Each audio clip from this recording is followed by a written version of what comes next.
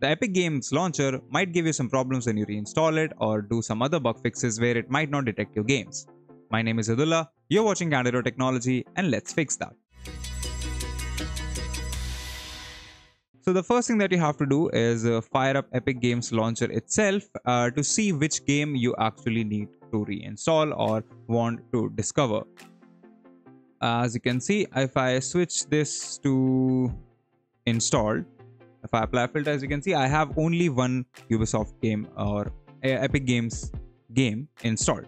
And now if I head over to my system and I go to library and I go to games and then I go you can see that X Xdefiant is right here.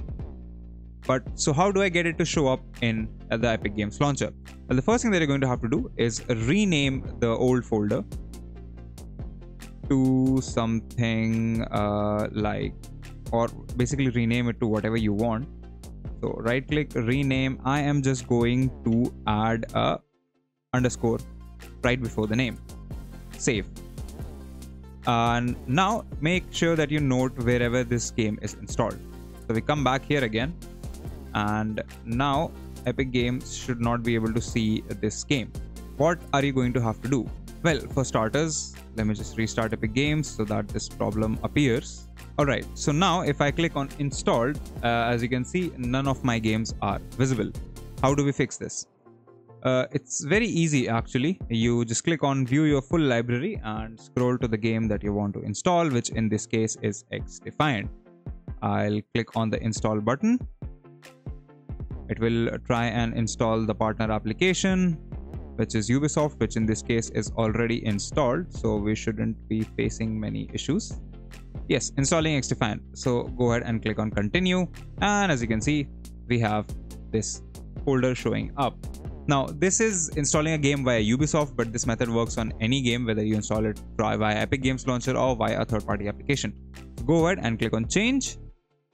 Then we are going to find our old game and uh, find the exact folder. So it's installed in D Games Xdefiant. Go ahead and click on continue.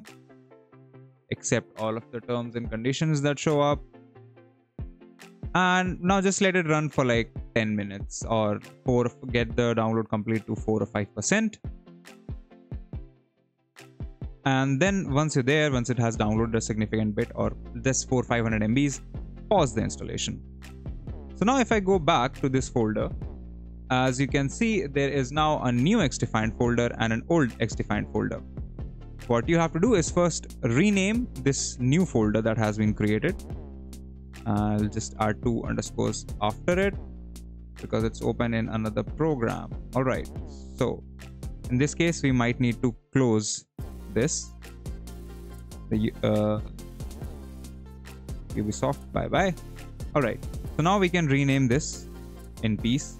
And now I can go ahead and select Xdefiant, the original folder, rename that one to what it's supposed to be.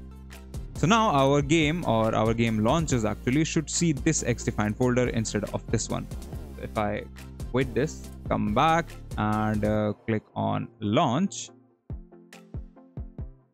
Ubisoft will open up the partner application and we should be good to go.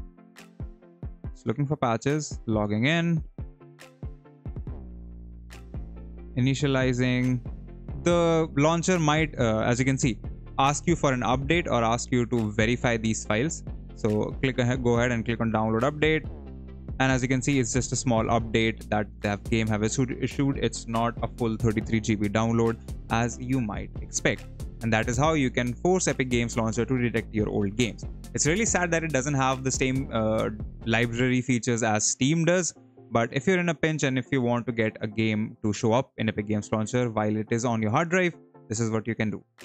If you like this video, consider subscribing, give us a thumbs up, press the bell icon and tell us in the comments below what more such content can we make for you. If you'd like to know more about tech, visit our website candid.technology, follow us on social media, follow me on Instagram or Twitter, and we'll see you in the next video.